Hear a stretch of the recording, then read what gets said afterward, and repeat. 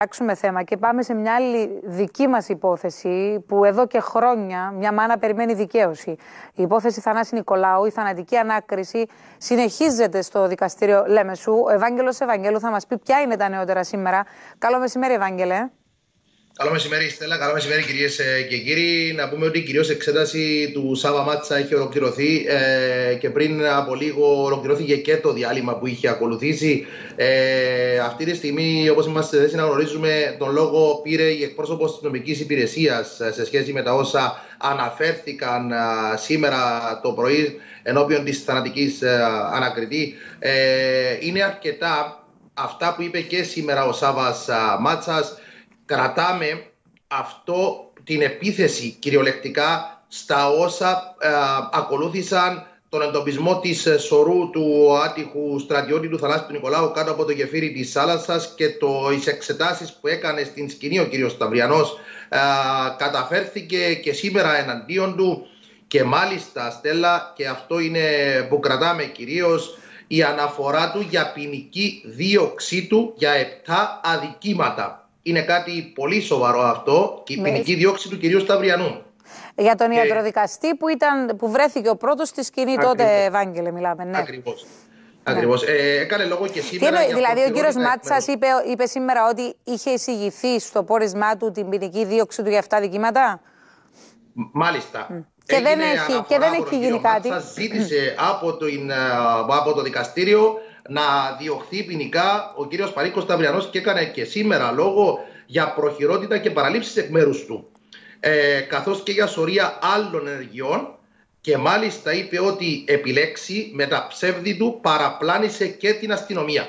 Είναι πολύ σημαντικές οι αναφορές του κυρίου Σάβα Μάτσα ενώπιον του δικαστηρίου σήμερα.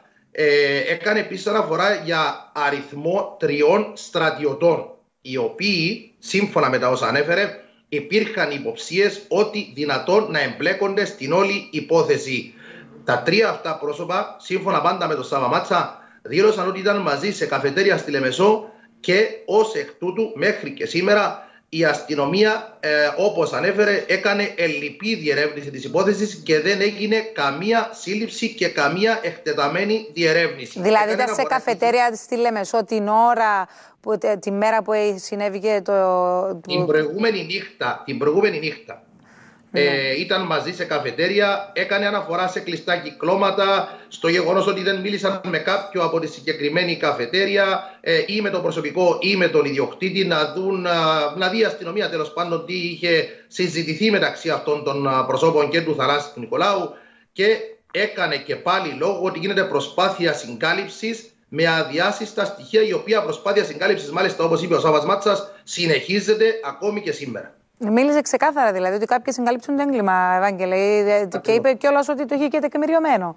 Τώρα, ε, εκείνο που προκαλεί εντύπωση είναι αυτό που είπε ως προς τον ιατροδικαστή, ότι είχε εισηγηθεί στο δικό του πόρισμα ε, ποινική δίωξη του με 7 δικήματα.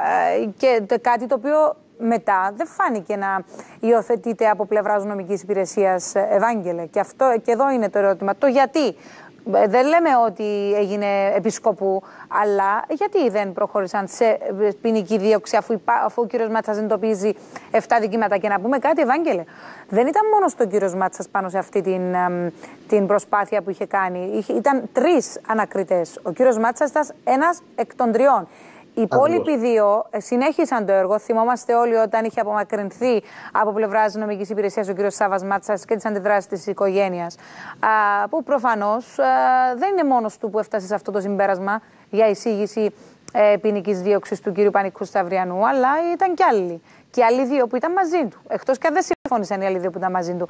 Είναι πολλά τα ερωτήματα που α, δεν υπάρχει λόγος να βγαίνουν στον αέρα να μας τα ξεκαθαρίζουν εμάς, αλλά στα ξεκαθαρίσουν αυτές τις μάνας που περιμένει εκεί. Τώρα, η κυρία Αντριάννα Νικολάου θα καταθέσει ή δεν θα καταθέσει τελικά, Ευάγγελε; Δεν θα καταθέσει τελικά η μητέρα του Θανάση Νικολάου. Το ζήτησε η ίδια ε, και μάλιστα ε, προχώρησε και σε κάποιους χαρακτηρισμούς της όλης ε, διαδικασίας ενώπιον του δικαστήριου, την οποία παρακολουθούμε τις τελευταίες ε, μέρες. Να πούμε ότι η, η θανατική ανακριτή. Ε, Γιατί όμως, Ευάγγελε, είπε τον λόγο που δεν θέλει να καταθέσει; Όχι, επικαλέστηκε ότι είναι μια τέλος πάντων σύμφωνα με τους δικούς της χαρακτηρισμούς αστεία διαδικασία τη στιγμή που όπως και η ίδια είχε αναφέρει στους δικηγόρους νιώθει ότι ε, τα όσα αναφέρονται ε, και τα όσα τέλος πάντων συζητιούνται τις τελευταίες μέρες στη δικαστική αίθουσα κάθε άλλο παρά είναι αυτά τα οποία ζητά. Δηλαδή, είναι, αλλά περίμενε και αυτή τόσα χρόνια να μιλήσει. Είναι προκαλεί ερωτηματικό. Λοιπόν, Ευάγγελε, ολοκληρώθηκε η διαδικασία, ακόμα βρίσκεται σε εξέλιξη. Είναι σε εξέλιξη ακόμη η διαδικασία, Στέλ. Λοιπόν, σε ευχαριστούμε πάρα πολύ, Ευάγγελε. Θα το παρακολουθούμε.